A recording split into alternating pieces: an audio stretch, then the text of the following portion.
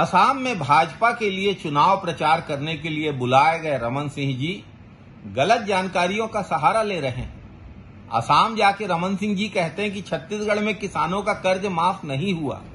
रमन सिंह जी ने यह भी कहा कि छत्तीसगढ़ में ऋण माफ़ी की कोई सीमा तय की गई। वे गलत बोल रहे हैं। जो छत्तीसगढ़ में नहीं हुआ, उसको बोल रहे हैं। और जो हुआ, उसको नहीं बता रहे हैं। ये नहीं बता रहे हैं कि उनके पंद्रह साल के शासनकाल में छत्तीसगढ़ देश में सबसे ज़्यादा गरीबों वाला प्रदेश बना, सबसे ज़्यादा झुग्गियों वाला प्रदेश बना। उनके मुख्यमंत्री रहते हुए, उनके कवर्धा के पते पर, उनके बेटे के नाम पर विदेशों में खाता खुला। रमन सिंह जी को बताना तो यह चाहिए कि इस विदेशी खाते में कितने हज़ार करोड़ रुपए जमा हैं, यह बताने के बजाय छत्तीसगढ़ के खिलाफ गलत बातें प्रचारित करने का रमन सिंह जी का अभियान पूरी तरीके से अनुचित है। छत्तीसगढ़ के मान सम्मान और स्वाभिमान के खिलाफ है।